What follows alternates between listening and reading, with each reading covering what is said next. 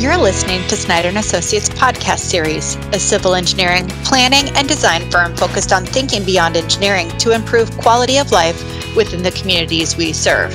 This episode's hosts are Wade Greiman, Kelli Scott, and Kathleen Connor. My name is Wade Greiman. I serve as Transportation Business Unit Leader for Snyder and Associates. With me today are Kelli Scott and Kathleen Connor. They will be sharing their insights related to developing capital improvement programs for cities across Iowa. Thanks for joining me. Kathleen, as you've worked with multiple cities over the years, what have been some of your city's most challenging issues to overcome when developing a realistic capital improvements program? One of the big issues is getting them to think big first so that they're looking at a broad spectrum, not just water and sewer projects, for example. They're looking at parks. They're looking at capital expenditures such as fire trucks and pulling all of those into a big list and then being able to prioritize them and understanding the difference between needs and wants. The other thing that I think it's important is for a city to figure out how much they can spend on an annualized basis, whether they're looking at doing a project spanning two years, but yet one construction season, or if they're looking at bonding and how much they can pay off and borrow each year. They can then look at the projects that they want and that they need to do and how many of those are going to fit within a five year or even 10 year CIP and how many maybe wind up being unmet needs. The other challenging thing is when we look at alternative funding sources so that all the projects aren't paid out of the city's own funds is talking about assessments as an option. Some cities, when they see how much they need to spend on, on all of their projects, they are more favorably looking at assessments. But when it comes down to realistically getting an idea of how much are you willing to assess when the property owners are in the room, they're not happy about being assessed. So having a realistic discussion about assessments.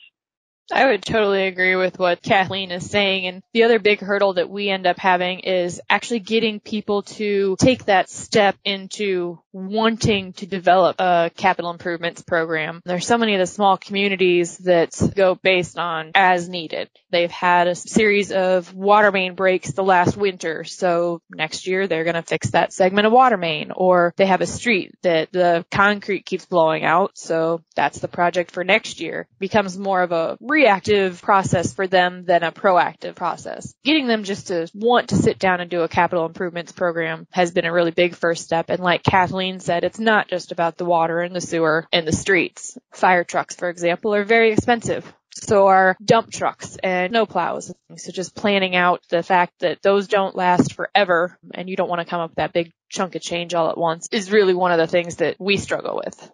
We work with varying clients that have varying levels of growth and varying levels of resources available at their fingertips to help them with the CIP process. Can you talk a little bit more about some of those details related to communities that are struggling with growth versus communities that growth is just inherent to their daily routine and how our services can help to set both ends of the spectrum up for success? My history is typically working with rapidly growing communities, generally in the metro area. Those communities are working really hard to stay ahead of that growth and planning for staffing needs and the demands that they're going to have with the ever increasing infrastructure that their communities have. Trying to also stay ahead of developers so that they have a plan in place so that what developers are proposing fit within that plan they're working as hard as they can to stay ahead of the growth. And that takes a lot of planning, but it takes a different kind of planning than a community that is trying to manage the resources that they have now and stretch those dollars.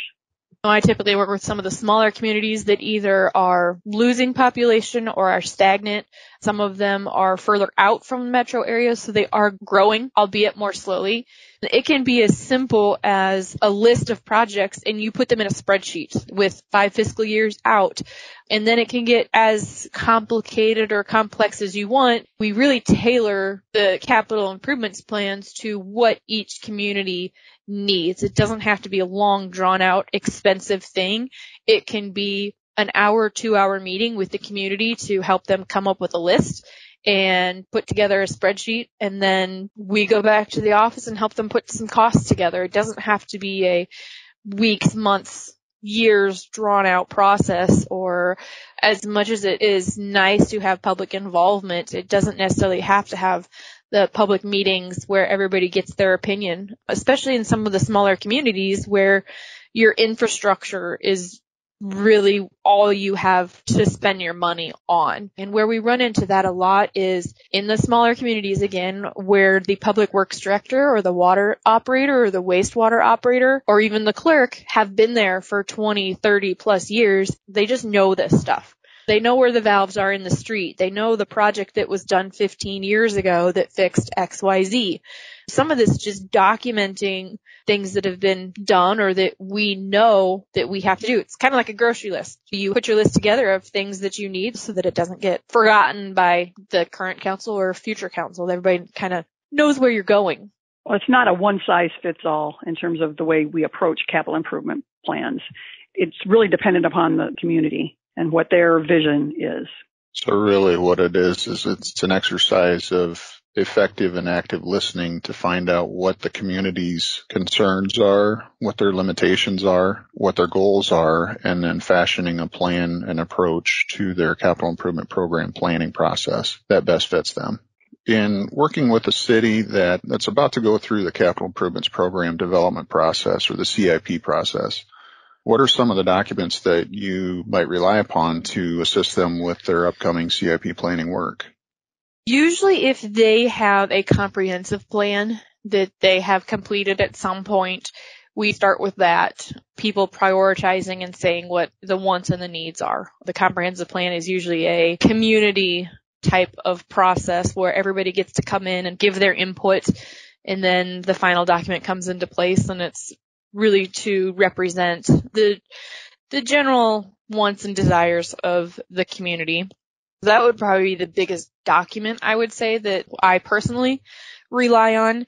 And then when we're coming up with what types of projects that they should be looking at, it really comes down to our experience with other communities and other projects and issues that we've seen and also sometimes it comes down to funding available. If there's certain funding available right now, even if you're not planning on doing the project for number two or three years, it might help out with that. And then we look at past projects that the community has done and the current bid environment and help them come up with the actual conceptual cost estimates to go ahead and put into the CIP that also comes back to historical data for things like a fire truck, for example. You can say you spent three to five hundred thousand on that. So let's throw that in there and figure out how many years we want to work that out. I would say those are the biggest documents that we actually rely upon. Otherwise, most of it's conversation with the council, mayor, clerk, as well as if you've gotten a lot of community complaints about things that are happening. Like I said, water pressure or traffic is too fast, that sort of thing.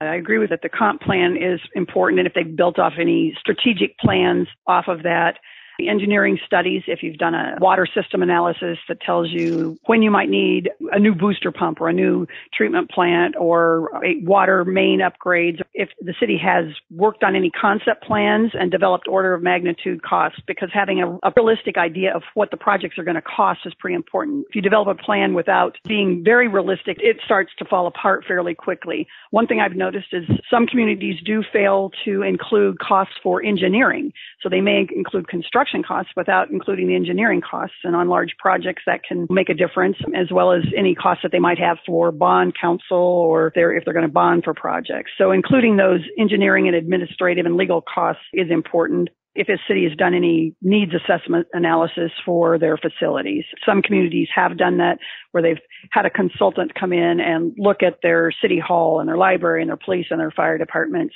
particularly on a growing community where you're continually adding staff but not necessarily adding the space that goes along with that. Oftentimes there'll be a needs assessment done so that they can program those in and maybe as smaller projects without going to a full bond referendum for a new city hall, for example.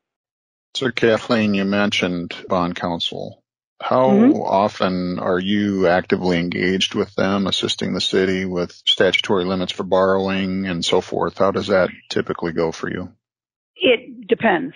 Some communities we've done a pretty significant amount of work in that regard where they will look to see what their bonding capacity is and what is their bonding limit in terms of what they want to spend on capital projects. So we program it out so that we know when certain bonds are, off same way you look at maybe a loan being paid off and how much you can add to it each year so that their overall debt limit is not exceeded. So some communities we go into quite a bit of detail. Other communities may have their own city manager or finance director that does that type of thing. So it, it varies from community to community. We have the experience that we can help them to whatever level that they need to vet this just a little bit further, have you ever encountered a community where prioritization of those projects or initiatives, that there's a conflict between the decision makers? And then if so, how have you maneuvered through that in assisting the cities to help figure out what their priorities should be? From my perspective, what we've done is work with communities on having goal setting sessions where you have work sessions to talk through those projects and do rankings one of the last ones we worked on, there was the lists of all the different kinds of projects and they were put under streets projects, water and sewer projects. Some of them were new city hall or city hall remodeling type projects. So there were some facilities type projects listed as well and parks and trails projects. Literally gave them stickers and they only had so many stickers that they could put on that had a higher point value and then so many stickers that you could have that had lesser point values. And so then with only those many stickers, you people had to individually rate where they wanted to put their points, ultimately their dollars everybody got their own stickers. And so then it helped shake it out visually because there were different colored stickers and you could see which projects got the most attention. We've done some of that as well with some of the communities that are smaller that don't have some sort of planning process in place already. It really comes down to health and safety where they're spending a lot of money on. A lot of people want a new park or new playground equipment or something like that. But when you have a water main from 1886, those kind of things end up taking priority just out of necessity.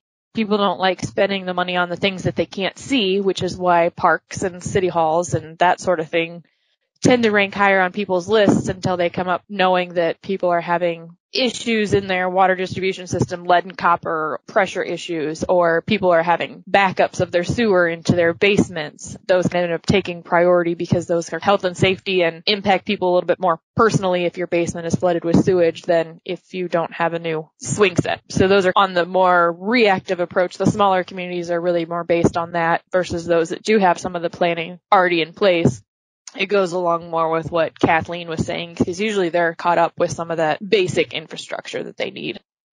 Part of it comes down to making sure council understands what the importance of a particular project is because they may see a water main. and It's like, oh, that's not real exciting to do that project. But understanding why that is important and understanding that for each project so that when they're making a decision, they're not just looking at a project name, but they do understand the justification for that project was going to touch base a little bit too on Kathleen's thinking big. People get really scared when you start making these lists of projects because the numbers get really big and they start focusing more on the cost and how they're going to pay for it versus the necessity of the projects. We try to talk to people about making your wish list of all the projects that need to be done at some point a lot of times the big projects, the treatment plant projects, the city hall buildings, the libraries, that sort of thing that are multi-million dollar projects end up kind of getting put on the back burner because everybody knows that the dollars are so high and nobody wants to be the one that says we're raising taxes to pay for this or we're bonding for this or we need to get a loan for this or raising sewer rates or that sort of thing. So a lot of times they get scared of the dollar and that's not something that anybody should be scared of. It's really just a plan for the city. Once you make this plan, there's nothing saying that priority number one has to be done this year. Priority number two has to be done next year. It's really just bookkeeping so you know and everybody is aware of what is going on and things don't come up as surprises specifically, Kelli, when you bring up the large numbers and the sticker shock effect, what are some of the success stories that you might have as it relates to identifying outside funding sources to help soften the blow? Usually it's the smaller communities and the less affluent communities that are eligible for the grant and loan programs. A private homeowners association has been having some issues with arsenic for a very long time, exceeding the limits. And they had tried to put it off as long as they could because it was only 14 homes it was going to be several hundred thousand to over a million dollars to get something in place. And the DNR happened to have a loan forgiveness program as part of their state revolving fund program that they were actually able to get 75% forgiveness to take care of, we were able to do more of a comprehensive approach that would potentially help additional communities versus just helping them. Their option was either to put a little treatment plant that just served their 14 homes, which had its own issues, or put a several mile long water main to their property that the current developments between them and had the option to connect into it. So that's going to open up land for the development as well. But really they got that 75% and that was what they needed to be able to really afford the project. Otherwise there was nothing to it. And that had nothing to do with income. That's really a year by year DNR with the SRF loan program. They change that every year on what is eligible for loan forgiveness. Some of the other communities that we've done, usually it's low income. They end up with block grant money. Usually it's 300,000 to 600,000 depending on your community size. But we've had communities where they've essentially paid nothing for a project. We had a wastewater project. The plant was flooded back in 2008 and the state came out with some funding and by the time that all that funding and the block grant were all combined together, they essentially had a free wastewater treatment plant. The reason for the improvement in every community is different, but there's always something we can look at. Not always successful, but there's always places that we can go and look. We're always on the lookout for new programs and we're more than willing to take a long shot and put together the one or two page application for anybody who's interested at no cost just to help them get things going on an entirely different track, but in terms of looking at how do you make those big dollars more appealing or more manageable, I guess, is looking at how you could phase projects.